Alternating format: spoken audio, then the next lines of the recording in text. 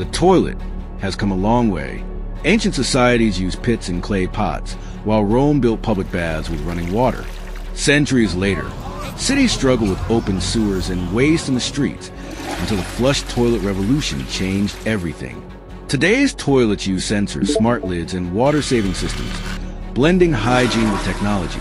From humble holes to high-tech thrones, the story of the toilet is really the story of human progress. How to build a toilet with flush lever. First, I install the flush mechanism so that the poop can drop freely. Then I add the chute and the waste pit below the toilet. Now, press the lever. The poop dumped perfectly. The last tester is this little boy, Calvin. Looks like Calvin's paying the price for refusing veggies. This hmm. button must be the way to get rid of the poops. Wait, nothing happened. He's really going mad with this.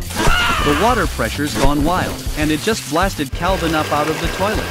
That's gotta be the worst toilet experience ever. How to build a toilet with bidet function.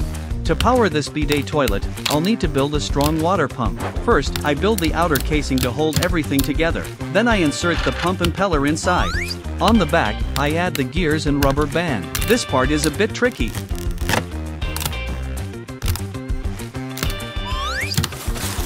Now all that's left is to add the safety cover, the water spray pole, and the motor.